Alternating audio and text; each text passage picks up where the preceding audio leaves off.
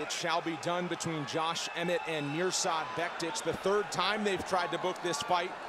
Supposed to happen in Philadelphia, but Josh Emmett took Michael Johnson because, as he says, he wants to fight the toughest names, and that was the biggest name he was offered. They were originally uh, scheduled to fight back in Poland a couple of years ago, but now they are in the octagon, and the gate is shut. Josh yeah. Emmett in the black, Mirsad Bektic is in the gray. And listen to that crowd. These guys are so evenly matched. Wrestling ability, punching power, aggression. It's a tremendous piece of matchmaking by the UFC.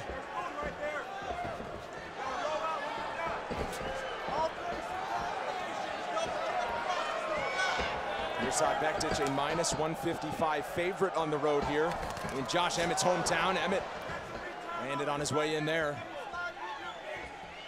Emmett plus 125 as an underdog. Look out when he dips and throws that big looping right hook. Yeah, Emmett was saying that he spars with a lot of professional boxers and more than holds his own.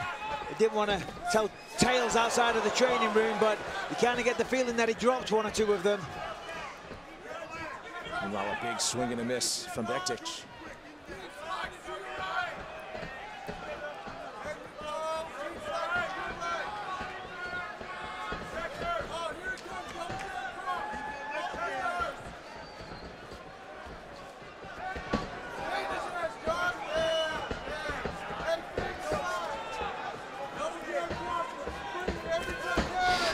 Look at that. When Emmett decides to let it go, if that connects, you are in serious trouble.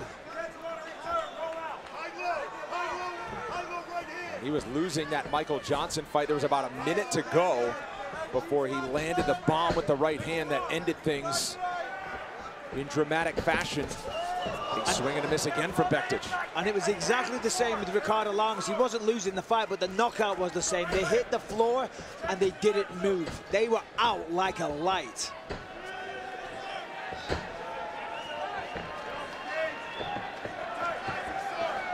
That big looping overhand right can work well for Team Alpha Male guys. We saw Song Yadong throw that with effectiveness last week in Las Vegas en route to a performance of the night bonus. As the crowd rises to support their hometown fighter once again.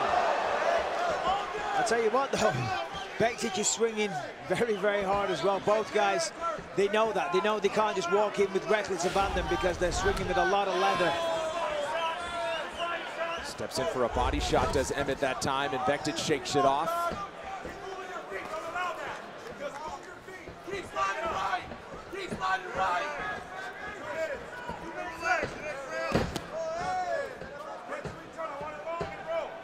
Bektic born in Bosnia and moved to the United States. Nebraska as a nine-year-old, got involved in wrestling. Yeah, well, talking of wrestling, it's interesting because neither man has even thought about shooting a double leg right now.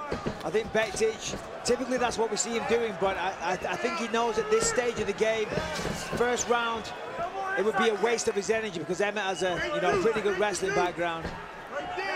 So therefore, he's got no choice but to stand with the man. And both of them have, have knockout power, but I think we've seen that Emmett, you know, has the, the edge, shall we say, in that regard. Bektic has trained in some wrestling at some camps with the U.S. Olympian Jordan Burroughs. But as you said, Michael, yet to put it on display. He can strike as well. We mentioned Godo, uh, Godofredo Pepey, the performance of the night win that came in Charlotte January last Ooh. year. Meanwhile, Emmett Dips out of the way of another looping right hook from Bektic. Yeah, both guys are just putting absolutely everything into oh, every shot. Wow. Stunned by the jab, and Emmett's on That's top it. trying to end it. Just a little jab put him on his backside. And now some hammer fists coming down from the local. He's down, he's down. Gets Bektic to his back. Ooh, Looking nice for big elbows. shots. The elbow lands in the left, continues to rain oh, down. Now big shots from the right. Josh Emmett trying to end it in the first round. And that is it. Josh Emmett in his hometown of Sacramento by knockout again. Ooh. It doesn't take much, does it? Apparently not. His power is not a myth, and it doesn't have to be a big, powerful shot. This is the thing, the jab is sometimes underutilized in mixed martial arts, but it's a solid shot, especially when you have the power that Josh Emmett has. It was just the jab, as Bektic was coming forward, put him down, and then from there, swarmed all over him. He was like a dog with the bone, and that was that. That's all she wrote. Amazing work. Here it is. Steps forward with the jab, sits him down. You see Bektic just kind of thinking what just happened there. And then once he got round the back here, he took turtle position and just started swinging hard, as hard as he could with that shot there, with that right hand. Referee looking closer, and it was that one there underneath that knocked the head. And from here, Bektic didn't really know what was going on. Here it is, one up through the middle now, boom, that was the one. That was the beginning of the end. And in the locker room is the California kid and teammate of Josh Emmett. and how do you like those vibes in the locker room, huh? Oh, yeah. That is good energy to walk out to your next fight. The man you train with wins by knockout or quick stoppage. And to make it official for Josh Emmett's first round knockout, here is Bruce Buffer. Ladies and gentlemen, referee Jason Herzog has called a stop to this contest at 4 minutes, 25 seconds of the very first round, declaring the winner by TKO, Josh Emmett.